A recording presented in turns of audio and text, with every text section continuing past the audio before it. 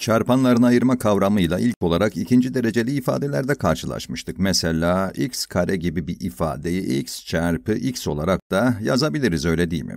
Ya da ne bileyim 3x kare artı 4x'i terimlerinin ortak çarpanı x olduğu için x çarpı 3x artı 4 olarak ifade edebiliyorduk. Bundan daha havalı şeyler de gördük. Mesela x kare artı 7x artı 12'yi çarpanlarına ayırmak için toplamı 7 çarpımı da 12 12 olan iki sayıyı aradık. Bazı videolarda bunu neden böyle yaptığımızdan da bahsettik. Aradığımız sayıların 3 ve 4 olabileceğini bulduktan sonra da bunu x artı 3 çarpı x artı 4 olarak çarpanlarına ayırmıştık.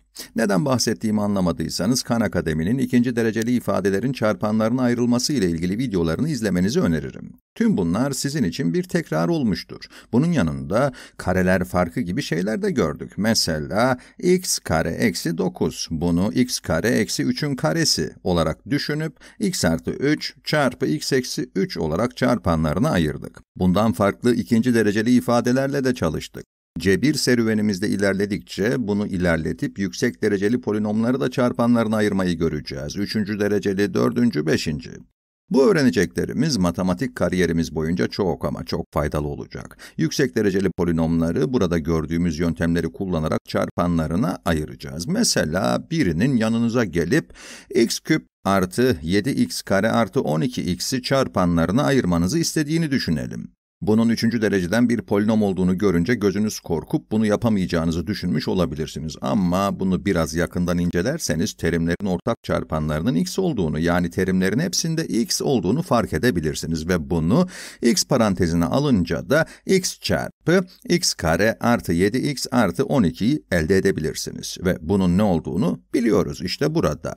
O halde bu ifadeyi x çarpı x artı 3 çarpı x artı 4 olarak yazabiliriz. Buna benzeyen basit çarpanlarını ayırma işlemleriyle karşılaşacağız. Hatta bu yaptığımızı belki birkaç defa yaptığımızda her şey çok daha kolaylaşacak. Bunun yanında bizi cebire giriş derslerimizde gördüğümüz ifadelere götürecek farklı yapılarla da karşılaşacağız. Bir yanınıza gelip bu defa da a üzeri 4 artı 7 a kare artı 12'yi çarpanlarına ayırmanızı istiyor.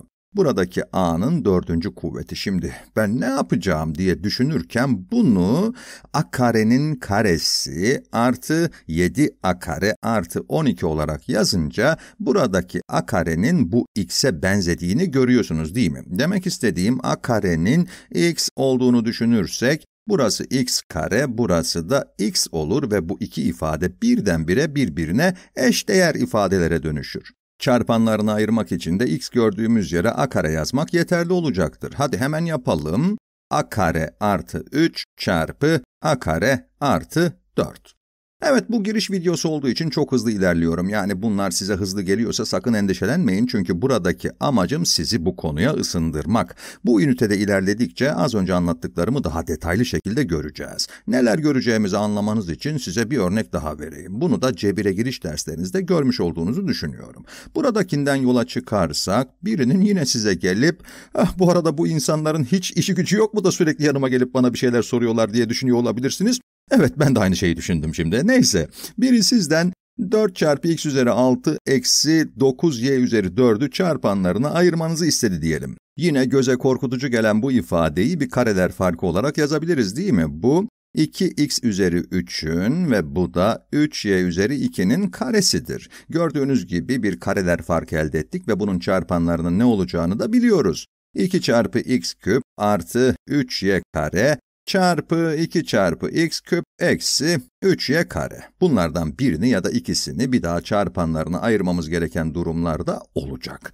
Biri yine yanınıza gelip belki de ne bileyim çok popüler birisinizdir kim bilir. Evet bu defa da x üzeri 4 eksi y üzeri 4'ü çarpanlarına ayırmanızı istiyor.